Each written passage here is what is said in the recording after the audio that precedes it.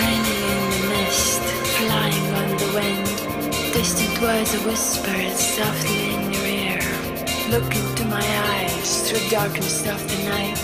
Passion grows inside of us, sharing in the light.